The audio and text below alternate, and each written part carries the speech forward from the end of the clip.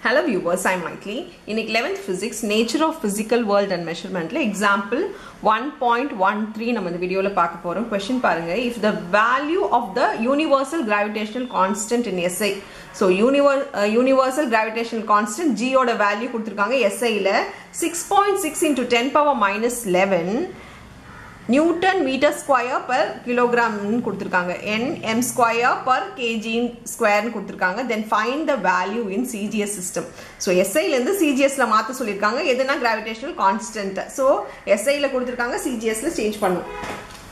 முதல்ல கிராவிடேஷ்னல் எஸ்ஐலேருந்து நம்ம பண்ண போகிறது கிராவிடேஷ்னல் சிஜிஎஸ்ல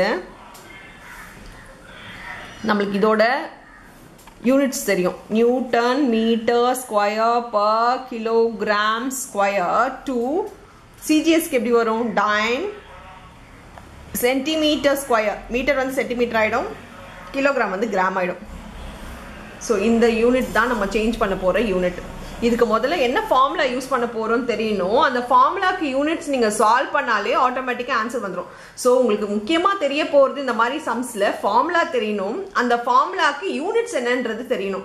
கிராவிடேஷன் கான்ஸ்டன்ட் எதுக்கு யூஸ் பண்ணும்? ஃபோர்ஸுக்கு தானே யூஸ் பண்ணுவோம் so F is equal to என்ன ஃபார்முலா அது ஃபோர்ஸோட ஃபார்முலா என்னது? ஏதோ ஒரு கிராவிடேஷன் கான்ஸ்டன்ட் நம்ம இங்கே ஜீன் கொடுத்து ஜீன் எடுத்துக்கலாம். கேபிட்டல் ஜீன் எடுத்துக்கலாம். G into M square by R square so இப்போ இதுக்கான யூனிட்ஸ் என்ன அப்படின்னு எழுதணும்னு பார்த்தீங்கன்னா நம்மளுக்கு தேவை கிராவிடேஷனல் ஃபோர்ஸ் தான். ஸோ கிராவிடேஷனல் கான்ஸ்டன்ட் தான். அதை இங்கே வச்சுக்கிட்டு நம்ம ஃபோ ஃபோர்ஸ் பக்கத்தில் இதை எடுத்துகிட்டு போயிடலாம். So FR square by M ஸ்கொயர்னு ஆகிடும் ஜி ஸோ இப்போ யூனிட்ஸ் எழுதிக்கலாம். ஃபோர்ஸ் வந்து mass into acceleration mass into axial acceleration into R square by M ஸ்கொயர்னு இருக்குங்களா?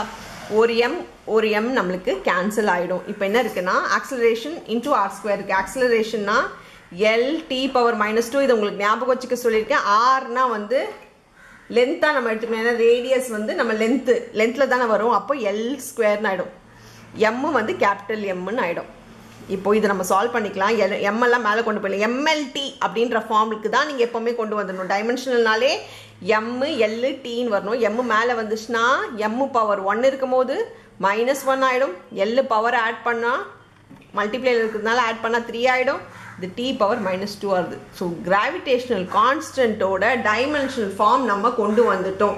எடுத்த உடனே டைமென்ஷன் ஃபார்ம் கொண்டு வந்துடுங்க இந்த புக்கில் டீட்டெயில்டாக கொடுக்கல. நீங்கள் ஃபார்முலா சப்ஸ்டியூட் பண்ணணும். அதோட யூனிட் சப்ஸ்டியூட் பண்ணாதான் உங்களுக்கு டைமென்ஷன் ஃபார்முலா என்னன்றது தெரிஞ்சிடும். இப்போ டைமென்ஷன் ஃபார்முலா வந்துச்சு இல்லையா? இப்போ நம்மளுக்கு என்னதுலேருந்து என்னவா மாற்றணும் gravitational constant of SI to gravitational சிஜிஎஸில் மாற்றணும் ஸோ இது G into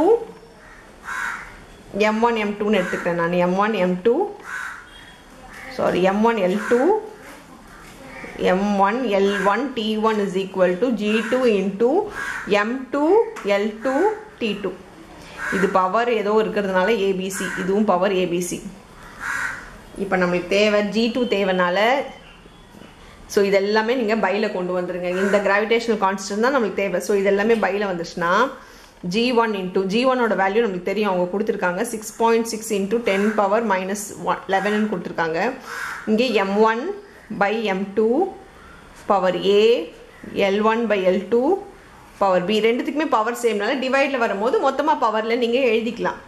T one by T two power C is equal to G two இது எல்லாமே மல்டிப்ளேயில் இருக்கிறது ஈக்குவல் டுக்கு இங்கே வரும்போது டிவைடில் ஆச்சு.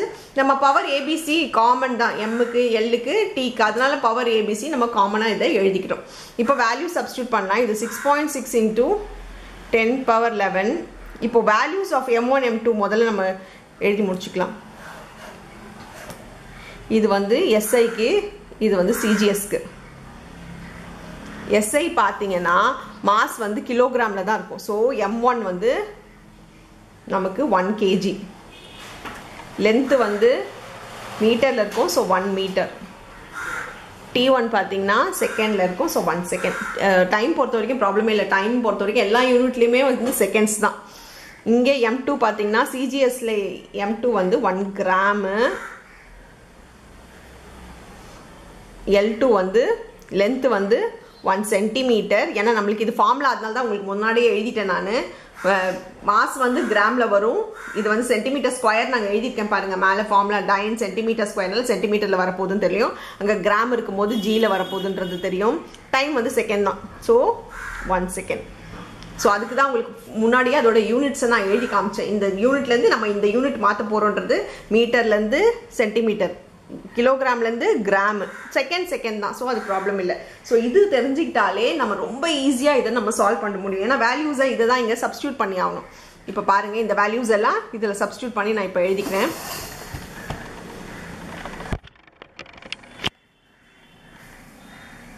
Six point six into ten power minus eleven by one kilogram by one gram power நம்ம ஏற்கனவே கண்டுபிடிச்சி வச்சுருக்கோம். பவர் என்ன வருது? எம்முக்கு எம் வந்து பவர் மைனஸ் ஒன் இப்போ நெக்ஸ்ட்டு பாருங்கள் எல் லென்த்து வந்து one metre by one centimetre power வந்து த்ரீ டைமுக்கு வந்து one second by one second power வந்து மைனஸ் டூ ஸோ இது ரெண்டுமே கேன்சல் ஆகிடும் so one power minus two இருக்குது எனி திங் ஒன்று பவர் எனி நம்பர் இருந்தாலும் ஒன் தான் வரும். ஸோ இது six point six into ten power minus eleven gram வந்து தௌசண்ட் இதுவும் கிராமில் மாத்திரம் இதுவும் கிராமில் இருக்குது ஸோ அதை அப்படியே எழுதிக்கிறேன். இங்கே ஒன் மீட்டர் வந்து ஹண்ட்ரட் பை ஒன் சென்டிமீட்டர் வந்து ஒன்று இது மீட்டரில் மா சென்டிமீட்டரில் மாற்றிருக்கேன் இங்கேயும் சென்டிமீட்டர் இருக்கிறதுனால ரெண்டுமே நம்மளுக்கு கேன்சல் ஆகிடும் ஸோ அது ப்ராப்ளம் இருக்காது. Sorry kilogram